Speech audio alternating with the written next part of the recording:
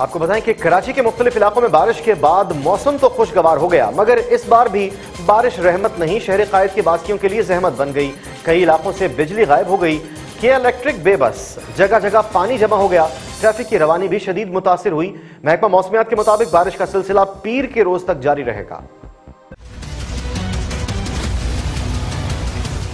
कराची में मानसून के तीसरे स्पेल के दौरान मुख्तलिफ़ इलाकों में बारिश पर शहरियों ने सुख का सांस लिया।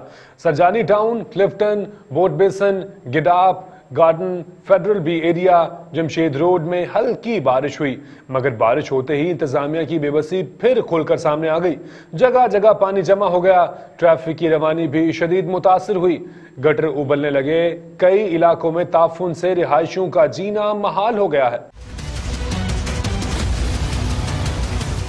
शहर कायद में बारिश हो और के इलेक्ट्रिक की नाहरी सामने ना आए, बारिश के बाद गुलशन इकबाल, लियाकताबाद नॉर्थ कराची के अलावा नागिन चुरंगी, करीमाबाद, लांठी और बफर जोन में बिजली गायब हो गई।